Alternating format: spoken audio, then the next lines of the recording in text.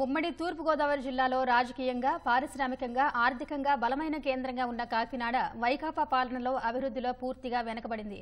Pensioners ప్యారడైజ్గా పేరొందిన కాకినాడ భూ కబ్జాలు డ్రగ్స్ గంజాయి మాఫియా ఆగడాలకు అడ్డాగా మారింది. వైకాపా అరాచకాలపై నోరు మెదిపితే కేసులు ప్రతిపక్షాలపై దాడులు. ఇలా చెప్పుకుంటూ పోతే అనేకం. వీటన్నిటికీ మించి వైకాపా ఎమ్మెల్సీ అనంతబాబు దళిత డ్రైవర్ సుబ్రహ్మణ్యాన్ని హత్య చేసి డోర్ డెలివరీ చేయడం సభ్య సమాజాన్ని తలదించుకునేలా చేసింది. ఇవన్నీ కలగలిసి ప్రభుత్వంపై తీవ్ర వ్యతిరేకతను పెంచాయి. ఈ ఎన్నికల్లో ఓటరు తీర్పు ఎలా ఉంటుందనేది ఆసక్తి రేపుతోంది. సముద్ర తీరం మెట్ట ప్రాంతాల కలబోతతో శరవేగంగా అభివృద్ధి చెందుతున్న వాటిల్లో కాకినాడ నియోజకవర్గం ఒకటి. పార్లమెంటు పరిధిలో పదహారు లక్షల ముప్పై నాలుగు వేల నూట ఇరవై రెండు మంది ఓటర్లు ఉన్నారు. వీరిలో ఎనిమిది లక్షల నాలుగు వేల నాలుగు వందల అరవై ఐదు మంది పురుషులు కాగా మహిళా ఓటర్లు ఎనిమిది లక్షల ఇరవై తొమ్మిది వేల నాలుగు వందల డెబ్బై ఒక్క మంది.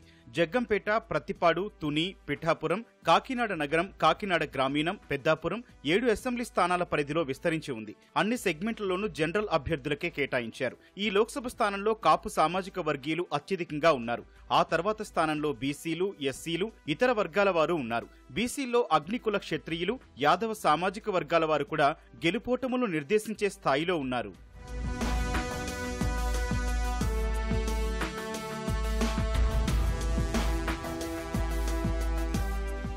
ఎన్డీఏ కూటమి తరపున కాకినాడ ఎంపీ అభ్యర్థిగా తంగిళ్ళ ఉదయ్ శ్రీనివాస్ పోటీ చేస్తున్నారు. టీ టైమ్ శ్రీనివాస్గా పేరొందిన తంగిళ్ళ ఉదయ్ తొలిసారి ఎంపీ బరిలో నిలిచారు. వైకాపా తరపున చలమల శెట్టి సునీల్ తలపడుతున్నారు. పారిశ్రామికవేత్త అయిన సునీల్ ఇప్పటికే ప్రజారాజ్యం వైకాపా తెలుగుదేశం నుంచి మూడుసార్లు పోటీ చేసి ఓడిపోయారు. మళ్ళీ వైకాపా పంచన చేరి ఎంపీ టికెట్ దక్కించుకున్నా ఎంతవరకు ఓట్లు వస్తాయన్నది ప్రశ్నార్థకమే. గత ఎన్నికల్లో తెలుగుదేశం జనసేన భాజపా విడివిడిగా పోటీ చేయడంతో వైకాపా అభ్యర్థి వంగా గీత గెలిచారు. ఈసారి మూడు పార్టీలు జతకట్టడంతో కూటమికి అవకాశాలు మెండుగా ఉన్నాయి. ఈ ఎలక్షన్లో మీ టికెట్ అనౌన్స్ చేసి కూడా మూడున్నర నెలలు అవుతుంటే మీరు పబ్లిక్ కనిపించింది ఏ రోజు? అలాగే మీకు ప్రతిసారి ఎలక్షన్లో మీకు ఎంతో మంది మద్దతు తెలుపుతారు మీరు ఎంతో మంది కష్టపడతారు అందరినీ వదిలేసి. మీకు స్వయాన ఎదురు పార్టీలో ఉన్న నాయకులు నమ్ముతున్నారు. అంటే మీ పార్టీలో ఉన్న నాయకులు మీరు ఎందుకు నమ్మట్లేదు? ఎదురు పార్టీలో ఉన్న వాళ్ళని ఎందుకు కొందాం అనుకుంటున్నారు? ఓటమిని అంగీకరించారా? ఓడిపోతున్నారని ఒప్పుకుంటున్నారా? సో ఓటమి ఒప్పుకుని ఏసీ రూముల్లో కూర్చున్న నాకు అతనికి పోటీ లేదు. హండ్రెడ్ పర్సెంట్ పబ్లిక్ డిసైడ్ అయి ఉన్నారు. వచ్చేది కూటమి ప్రభుత్వం.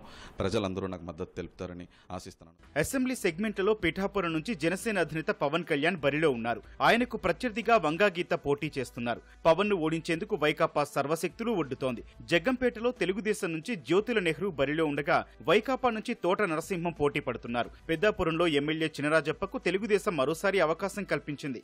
వైకాపా నుంచి దవులూరి దొరబాబు ఈయనతో తలపడుతున్నారు. తెలుగుదేశం తరపున కాకినాడ నగరం నుంచి వనమాడి కొండబాబు పోటీకి దిగగా ద్వారంపూడి చంద్రశేఖర్ రెడ్డి వైకాపా నుంచి పోటీలో ఉన్నారు. ద్వారంపూడి అవినీతిలో కూరుకుపోయి ఉండటం కొండబాబుకు కలిసొచ్చే అంశం. కాకినాడ గ్రామీణ నియోజకవర్గం నుంచి జనసేన తరపున పంతం నానాజీ పోటీలో ఉన్నారు. వైకాపా నుంచి కురసాల కన్నబాబు బరిలో ఉన్నారు. ఎమ్మెల్యేగా మంత్రిగా ఉన్నా ఎలాంటి అభివృద్ధి చేయకపోవడంతో కన్నబాబుపై ఓటర్లలో వ్యతిరేకత ఉంది. ప్రతిపాడు నుంచి తెలుగుదేశం అభ్యర్థిగా వరుపుల సత్యప్రభ పోటీ చేస్తున్నారు. వైకాపా నుంచి వరుపుల సుబ్బారావు బరిలో ఉన్నారు. తుని నుంచి యనమల దివ్య బరిలో నిలిచారు. ఈమెకు ప్రత్యర్థిగా మంత్రి దాడిశెట్టి రాజా పోటీ చేస్తున్నారు. దాడిశెట్టి అవినీతితో విసిగిపోయిన ప్రజలు మార్పు కోరుకుంటున్నారు.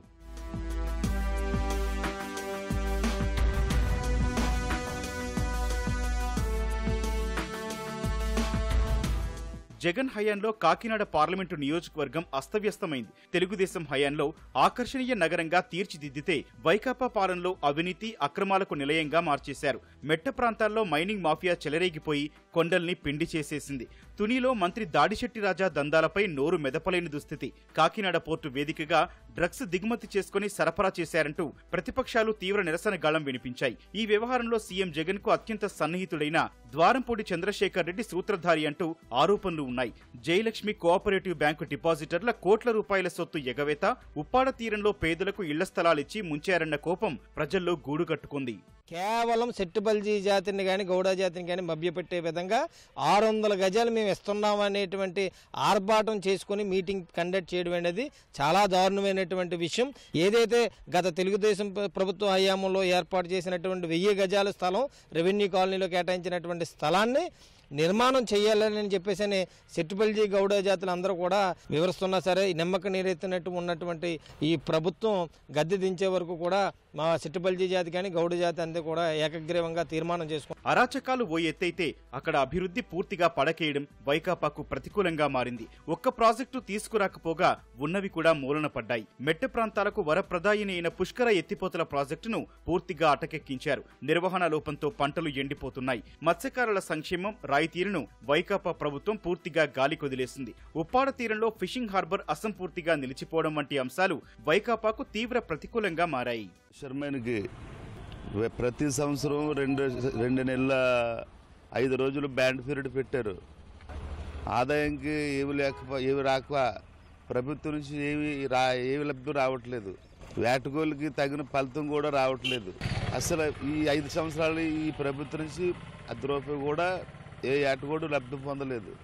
మా ప్రజలకు వచ్చే డబ్బుని ఓఎన్సీ డబ్బులు రాని కనుక వెయ్యి కోట్లు ఈ దూరపూర్ చంద్రశేఖర్ రెడ్డి వెయ్యి కోట్లు నొక్కేసాడంటారు పెసరమైన ఎవరైనా సముద్రంలో చనిపోతే మా ప్రభుత్వం వచ్చిన తర్వాత పది లక్షలు ఇస్తామని చెప్పి జగన్మోహన్ రెడ్డి పగడబలు పలికాడు. ఒక్క ఫిషర్మెన్ కూడా ఒక్క రూపాయి ఇచ్చిన దాఖలాలు లేవు. సీఎం రిలీఫ్ ఫండ్ పట్టుకున్నా సరే అయ్యా అని చెప్పి అర్థనాదాలు పెట్టినా ఏ కుటుంబానికి పది లక్షలు ఇచ్చిన దాఖలాలు లేవు. చెప్పింది ఒకటి చేసింది ఒకటే. ఇవాళ ఫిషర్మెన్కి ఇచ్చిన ప్రతి ఒక్క మాట ఈ జగన్మోహన్ రెడ్డి తెప్పాడుగా అదే టీడీపీ గవర్నమెంట్లో మూడు లక్షల రూపాయలు ప్రతి ఓటుకి ఆరు కోట్ల రూపాయలు ఇచ్చాడు కొండబాబు అయ్యంలో ఈ ఈ గవర్నమెంట్ వచ్చిన తర్వాత మత్స్యకారులకి రూపాయి ఇన్కమ్ లేదు. ఈ ఈ డబ్బులు కూడా కరెక్ట్గా పడి ఉంటుంది లస్కర్ల డబ్బులు కూడా కరెక్ట్గా పడి ఉంటుంది మీరు బ్యాండ్ పేరు పదిహేను ధర చెప్తున్నారు. పదిహేను ధర కరెక్ట్గా కడేస్తున్నాం మళ్ళీ మత్స్యకారులు అందరికీ డబ్బులు రావాలి కదా. గత టీడీపీ ప్రభుత్వంలో ఎప్పుడు ఇంజినాలు కానీ బోట్లు కానీ ఫిషర్మెన్కి లబ్ధి పొందేవాళ్ళు. గత ఈ ఐదు సంవత్సరాల పాలనలో ఫిషర్మెన్ కన్నా వారికి డబ్బులు రావడం కానీ ఈ కానీ చాలా ఇబ్బందుల పాలయ్యాం. మా పిసరమైన దుమ్ములపేట కాకినాడకి ఎప్పుడు మాకు రూపాయి రావడం లేదు వచ్చిన డబ్బు ఎవరు దొబ్బేశారనేది మాకు ఇప్పుడు దాకా ఆకుకు లేదు. అవినీతి అక్రమాలతో విసిగిపోయిన ప్రజలు వైకాపాను ఎలాగైనా ఇంటికి పంపేందుకు సిద్ధమయ్యారు. వైకాపా అరాచకాలను ప్రజల్లో ఎండగడుతూ కూటమి అభ్యర్థులు ప్రచారంలో దూసుకెళ్తున్నారు. అన్ని స్థానాల్లోనూ పాగా వేసేలా శ్రమిస్తున్నారు.